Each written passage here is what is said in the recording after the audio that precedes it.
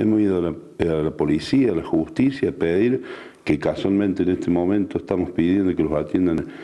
miércoles para empezar, porque las leyes están marcadas y están hechas, la justicia tiene que empezar a, hacer la, las cosas que debe hacer, ejecutar todo lo que está pasando en la ciudad, porque nosotros somos agentes de tránsito que hacemos cumplir normas y leyes que las ponen eh, el Consejo Deliberante y, el Ejecutivo Municipal, nosotros tenemos que ejecutar y esto, malos tratos que nosotros venimos virtiendo de hace mucho tiempo, por eso los vamos a encargar siempre que en los operativos esté la policía de la provincia, sean filmados, sea fotografiados, porque siempre los responsables, en definitiva, somos nosotros los trabajadores. Hoy casualmente le pegaron a un compañero por solo decirle a una persona que transitaba en contramano en bici que se bajara la bici y que cambiara de, actitud porque podía chocarlo cualquier vehículo en una calle muy cerrada donde se transita muy juntos los vehículos, que es una área de salud, y este ciudadano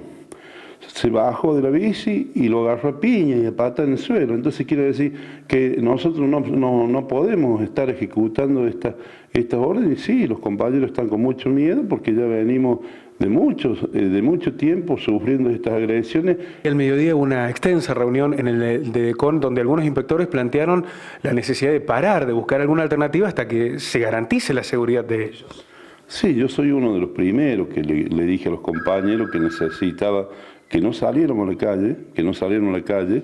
eh, y que si salíamos y si, si, tomaban la decisión de salir, salieran a compañeros, salieran de dos compañeros. También se ha planteado hoy la preocupación porque dicen que hay una presión por parte del EDECON de que tienen que labrar multas, de que eh, esa, hay como un fin recaudatorio. No, uno sabe siempre que la, no es que el EDECOM decida quién son las multas, las multas y los costos salen desde el Consejo Deliberante, la aprueban los concejales y nosotros somos los ejecutores. Por lo... ¿Están trabajando bajo presión los trabajadores para que tengan que labrar determinadas cantidades de multas? No, no, no, eso no existe en el EDECOM, todos los trabajadores que están trabajando en conciencia y, y a necesidad. Hay falencias que no corren por ni por, eh, ni por la municipalidad ni por la policía, sino hay decisiones que le tienen que tomar los jueces en sancionar a la gente que tienen la intencionalidad de llevar por delante a un, a un empleado municipal previendo que lo sabiendo que llevándolo por delante lo puede matar o pisarlo, quebrarlo, como quebró